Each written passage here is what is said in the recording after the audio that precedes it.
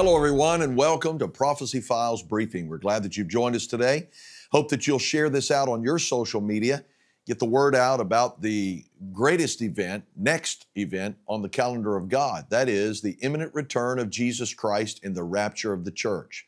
It is also one of the most assaulted, mocked, scorned, and scoffed doctrine of the Word of God, especially in these last days. So, in the past few days, uh, the world has heard all about the solar eclipse and all that has taken place from people flying in planes to getting married to the Dallas zoo animals going a little bit crazy. All of these things were taking place yesterday as millions were watching the solar eclipse. This past weekend, I dealt with the signs and the sun, the moon, and the stars. And some people will discount whether or not God is speaking through the sun, moon, and stars. I won't go into the details of it. You can watch that broadcast online on the archives. But this is the greatest concern of mine today, and that is that believers do not give up the hope of the promise of Jesus' return. With all of the rhetoric, with all of the scoffing, with all that is taking place today to try to undermine the hope of Jesus Christ's return, we as believers, those of you who are Christians and believe in the second coming of Jesus Christ and the return, the pre tribulation return of Jesus in the rapture of the church, which is verified over and over again in the Word of God, I just want to encourage you today to stay true and fast toward the promise. The Bible says in 2 Peter chapter 3, verses 3 through 8. It deals with this subject, but I want to zero in uh, on this particular phrase. Where is the promise of his coming? Uh, in the last days, the Bible said that scoffers would come, asking that question, saying, Where is the promise of his coming? For since our fathers fell asleep, all things continue as they are. And this is the important thing all things are not continuing just as they are. The changes and the rapid uh, increase of all of the things that Jesus spoke of in Matthew 24 are happening on a greater scale than they ever have been before. And certainly the technology and all that is happening brings more of it to our attention, there's no doubt.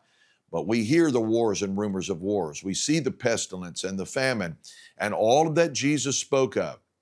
And with that pounding on people's faith today as believers and the outside darkness of this world, its encroachment of Satan and the very spirit of Antichrist that is rising, it can attack the hope of the return of Jesus Christ. So the question is, uh, Pastor, what am I supposed to do?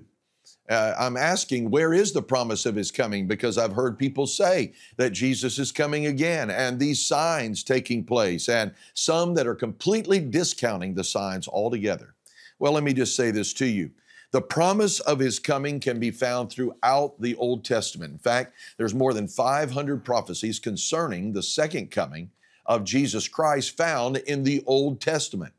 One out of every 25 verses in the New Testament speaks of the second coming of Jesus Christ, the return of the Lord. One quarter of the entirety of the Bible deals with the prophetic signs that are coming and the prophecy concerning Jesus' return. So, where's the promise of his coming? It's found in the Old Testament uh, over and over again. It's also found in all four of the Gospels. Matthew, Mark, Luke, and John record the promise of his coming. You find that in Matthew 16, Mark 13, Luke 19, John 14, all of these and many others. It's found there in the Gospels. Where's the promise of his coming? It's found in the book of Acts, the very first chapter. You can find it being recorded there as the, the angels declare to those that were watching Jesus rise from the earth that this same Jesus shall come in like manner. The promise of his coming is found in the book of Acts, without a doubt. It's also found in the epistles uh, that were written by uh, Paul, James, Peter, John, and Jude. All of them record the promise of Jesus coming his return that would take place, and it gives uh, quite details, uh, even in all of this that I'm speaking of, the details of his coming, how he's going to come, where he's going to come, all of these things. The rapture lets us know beyond the shadow of any doubt that he's coming in the clouds. And then in the second coming, he will literally put his foot down on Mount Olive in Jerusalem. These are recorded, these facts are recorded in the Word of God. Where's the promise of his coming? It's found in the Apocalypse, the book of Revelation. over and over again, describing Revelation 1, Revelation 22, Revelation 12, Revelation 20. All of these can be found uh, recording the prophecy of the promise of the Lord's return. Where's the promise of his return? Well, if you've been in church recently and you have received uh, the sacrament, communion, then you've been reminded right there in 1 Corinthians 11 how that Jesus Christ promised that he would return just like he said. And if that isn't enough, where's the promise of his coming?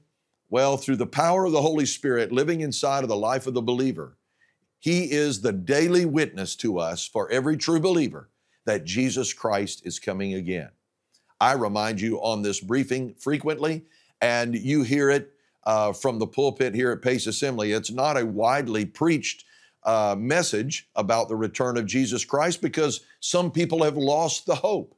But the Bible says to those that are looking, we will see the blessed hope of the Lord's return, and it could take place even today. The only question is, are you ready?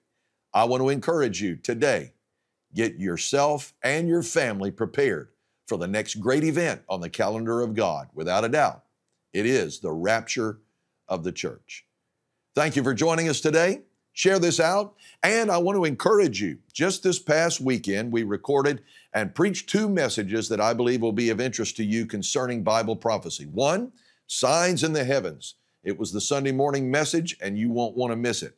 And all of the details concerning how that the Lord uses the sun, moon, and stars. And then Sunday night, the Prophecy Files update that we bring to you on a frequent basis this past weekend on Sunday night. It will be available at the archives at paceassembly.org. I encourage you to go there and see what events are pointing toward the imminent return of Jesus Christ. Thank you for joining us today.